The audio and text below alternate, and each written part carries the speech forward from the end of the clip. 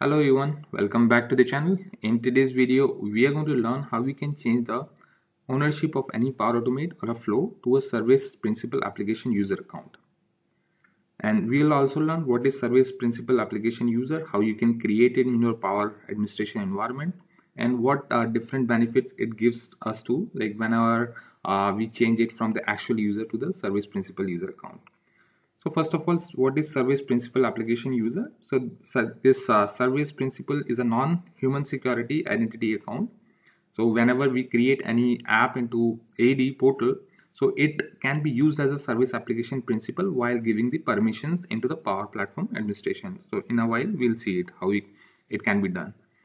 And also like what benefit it gives. So consider an example where a person or a uh, owner of the flow leaves the organization so either like that ownership has to be transferred to the existing user which has a valid uh, license account into the power automate but usage of this service principal application user allow us to provide the ownership to this service application account. And uh, we need not to be worried about like if a person leaves uh, in future the again the owner leaves in the future then uh, we have to change the ownership again. But uh, just to remember like this uh, service principal application user actually binds with the non-license requirement non-license limits uh, applies to this account. So the flow would actually run in the uh, settings or the configuration we do at the power automate level. So just remember that. So now we can start creating one new service principal application user account into our platform administration. Then we'll change the ownership of uh, one of the flow which is there in our environment. So that entire step-by-step -step process will take care so i'm just changing i'm just going to my default environment. And over here i'll just open the power platform administration. I'll just go to the admin center. And i'll go to environments. So i'll click on my default environment.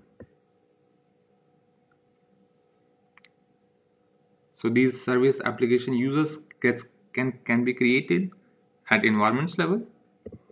And when you go to the settings under user and permission click on application users. So over here you can see like there are a bunch of application user which are already there. So these are get provision like whenever uh, you install some packages. So that get provision altogether by its own. But over here we are going to create a new app user so by this app when you click on this add an app so it will give you all the apps which are there in your azure ad portal. So these are the apps which you have either like created by by its own or you have created. So these couple of apps which i have created by myself so i can use this uh, apps to create this app user. And how you can create apps so you have to go to the azure portal to create it. So you so I have logged into the azure portal.com and you can go to the Azure Active Directory where you get the area where you can register your app. So you have to directly go to the app registration and over here you can create a new app. So I have uh, already done a couple of uh, previous videos how you can create an app into Azure and assign the permission. So I'll just drop the link of that so you, you that you can create app by your own into the Azure portal so over here if you see like I have this uh, office graph and this uh, two apps which was created for different usage but I still can use them. And uh, you can very well create a new one and can use that as well. So I'm just going back to my power administration and I'll just choose my this graph. The app name uh, is ms graph I believe. Yes ms graph app. So I'll just choose this one. And you have to choose the business unit. So by default like uh, you can bind that to your organization business unit.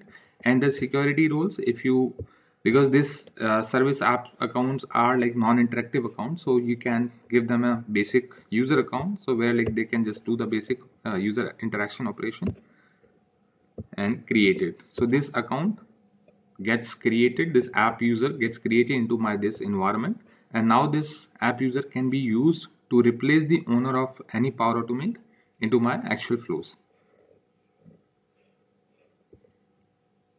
So we can see like we have this over here. If you wish to edit this you can just select it and go to details.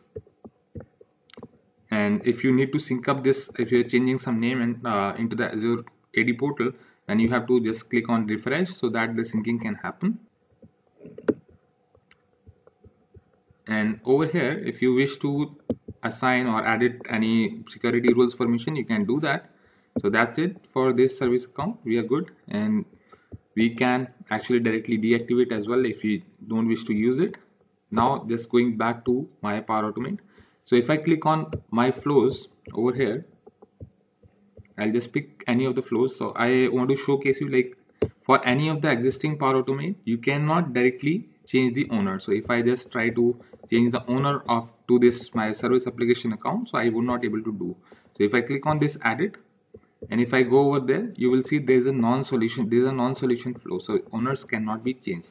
So just to remember you have to create the flow into one of the solution or add your flow to, to the solution so that you can change the ownership of the flow.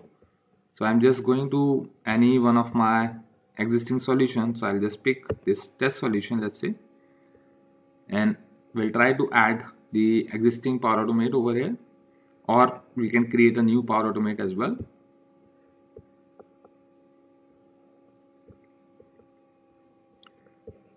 So let's say from the existing one I'll just try to pick any of the let's say any of the flow. So I'll just click on this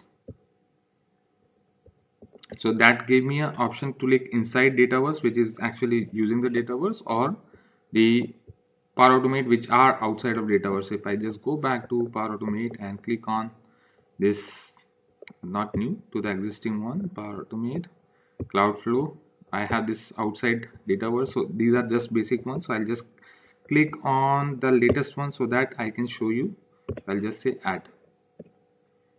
So now I have added my Power Automate to the solution. So I should be allowed to update the owner of this Power Automate so this is the name. When item is created I'll just go back to my or I can just add it from here itself. And if I just go back to the flow details and added these details I got an option to change or remove this owner which is there and I can start typing my own.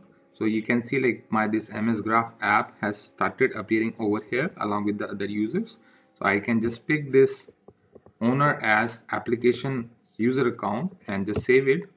And you see like uh, changing the owner you would require to share the connectors with this account as well so that your flows can be uh, smoothly running after changing the ownership as well so once I save it you still see like plan is owner and per flow. So based on your requirement you can keep it.